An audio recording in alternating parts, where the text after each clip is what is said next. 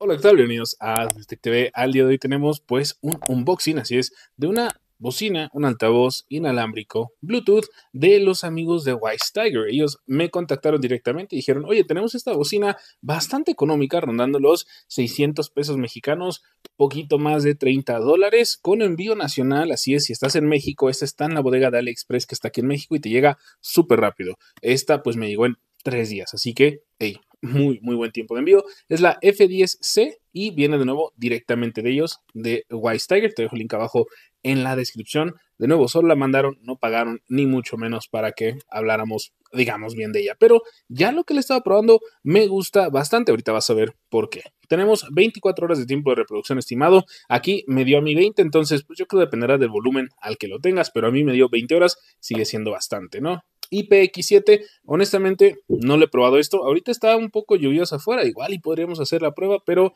mmm, no sé, que mm, digan ustedes si les gustaría eso.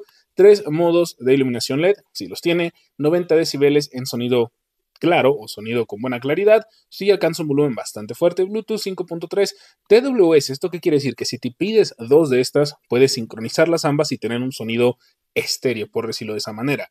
Eh, recuerda los ajustes, recuerda cómo lo hayas dejado y 25 watts de potencia, ¿no? Aquí la tenemos, su cajita, este es el diseño como puedes ver, justo así, ¿no? Así que vamos a abrirla, se las muestro. Yo pedí la versión negra, si es el color negro, es el que terminé pidiendo. Entonces abrimos la cajita. De nuevo, de la bodega de AliExpress para acá, tres días. Entonces se me hace un excelente tiempo de envío. Eso es lo que te viene en la cajita y ya es prácticamente todo. Así que la dejamos de lado. ¿Qué tenemos? Tenemos un manual de usuario muy, muy sencillo, rápido de entender. No creo que eh, la mayoría de las personas batallen con esto porque adivinen que está en español.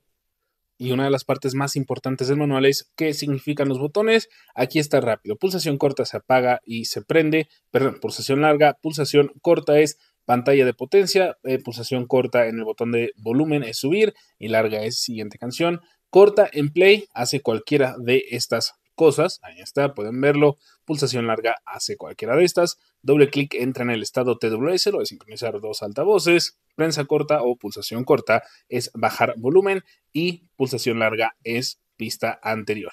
Aquí está con lo que va ciclando entre los diferentes tipos de iluminación. Aquí te indica los puertos. El manual viene súper completo, así que cualquier duda que tengas, aquí te la vas a poder resolver. Y de nuevo, un manual en español. Aquí que tenemos, pues tenemos el puerto USB tipo C, bueno, el cable USB tipo C, porque sí, este altavoz tiene conexión USB tipo C, lo cual está fenomenal. Ya no hay nada de micro USB casi en el mercado. Esto me gusta mucho. Y tenemos esta agujetita que le puedes colocar para transportarla de una manera más fácil. Colgarla a lo mejor si andas haciendo camping y la quieres dejar colgada de, no sé, tu camioneta, pues la puedes poner justo ahí. Vamos a sacarla bien en esta bolsita como de bueno, material reciclable, papel.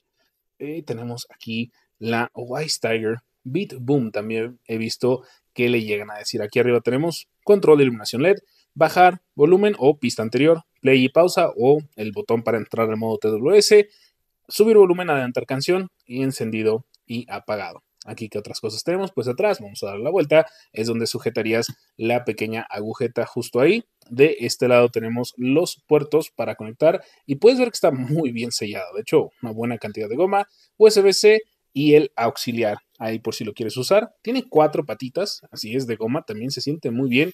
Todo este forro se siente de muy buena calidad. Lo voy a acercar al micrófono para que escuchen. Sí, se siente bien, vaya, se siente bien hecha, no se sienten rebabas de plástico en ningún lado, ni que, pues, esté mal. De hecho, muy, muy bonito. Quedaría de esta manera en una mesa si la colocas. Obviamente un diseño triangular, como puedes ver justo ahí. Entonces, está muy padre. Vamos a sincronizarla y a reproducir algunas canciones sin derechos de autor para que ustedes puedan escucharlas. Y bien, pues vamos a sostener el botón de encendido y apagado. Ahí está. Está en el modo, pues, búsqueda, queriéndose emparejar. Pueden ver ya aquí el tipo de iluminación que tenemos. Está muy interesante, la verdad. A mí me gusta bastante porque tenemos luces aquí y aparte estas tiras de LED que dan buen, buen eh, ambiente, buena iluminación. Boom, ahí está. Otra cosa a destacar, no tiene ese audio de Bluetooth devices, no, nada, simplemente sonidos que te indican. Vamos a ciclar por los diferentes modos de iluminación. Apagado, si no quieres nada. Me encanta lo discreto de este LED, ahí nada más. Uno, para solo tener estas luces como, no sé, faros de carro más o menos. Y este que te da solo la tira LED y uno más te da todo, ¿no? Estas dos de aquí y además las tiras LED ciclando en diferentes, pues, tipos de iluminación. Con esto subimos el volumen. Ese tono te indica que sabes que ya estoy hasta el volumen máximo. Entonces, pues vamos a YouTube a reproducir una canción sin derechos de autor. Vamos a bajar un poco el volumen porque va a estar al máximo y ya lo iremos subiendo un poco. Te digo que la claridad está muy, muy buena.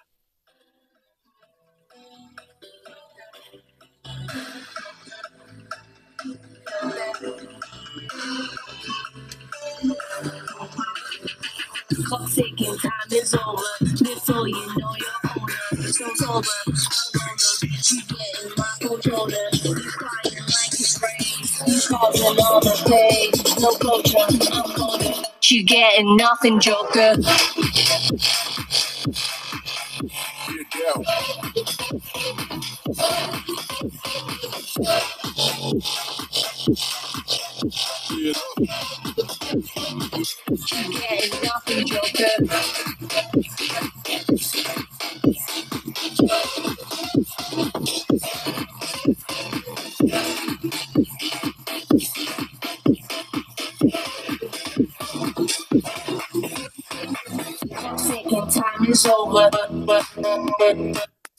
Ok, creo que ya lograron escuchar bastante de esa canción. Me gusta mucho el sonido que da, bastante claro, muy fuerte para el tamaño y notaron las vibraciones, así es, sí tiene pues cantidad de bajos decente, dependerá de la canción y obviamente es una bocina bastante económica, solo 30 dólares si te llevas esto, honestamente el diseño está muy muy bonito, a mí me gusta bastante, la voy a dejar así para que se vea un poquito mejor, miren, así es como queda, pero la voy a colocar así y vamos a apagar la iluminación que tenemos para que más o menos puedan ver los colores, mira, está bastante bastante padre, da vuelta completamente aquí, o sea, se ve una bocina bien hecha, te digo los acabados bien, puedes ver que no hay tela salida en ningún lado, todo se siente de muy muy buena calidad, de nuevo, por el precio, honestamente yo estaría contento con esta para tener a la mano. No quieres a lo mejor prender tu estéreo grandote, no quieres prender tu sistema de radio, quieres algo pequeño para andar cargando. Mira, aquí está una opción. Links abajo en la descripción. Gracias a los amigos de Wise Tiger por haber mandado esta Beat Boom para revisar.